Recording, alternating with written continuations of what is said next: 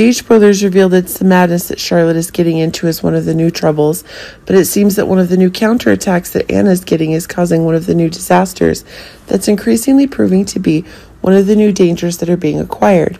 It's true that Anna is unable to accept the seriousness of the controls that Charlotte has, but it seems as if Halloween itself is one of the increasingly dangerous new acts expanded.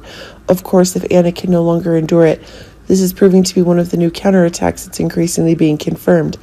But it seems that one of the new ideas about the attack that Charlotte is making is one of the false conditions being discovered. Keep in mind that even though Charlotte is making deals with Valentin, it's not stopping the crazy, dangerous actions that Anna herself is getting but it seems as if the evidence of the dangerous act that Charlotte was doing was hidden by Valentin and Nina themselves, and is being discovered more quickly. This is proving to be one of the new clarity that's increasingly being gained. Of course, the animosity that Charlotte has towards Anna is expanding further and further due to the dangers that Valentin is taking. But what if the boss is behind the necessary actions that Charlotte is taking?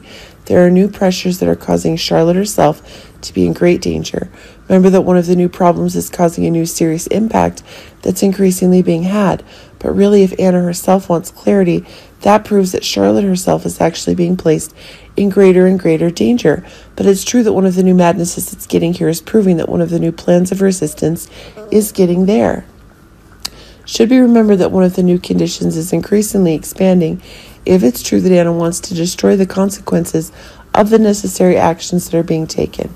But it seems that if it's correct that Anna needs to confront Charlotte, this is putting Valentin himself in one of the more dangerous situations.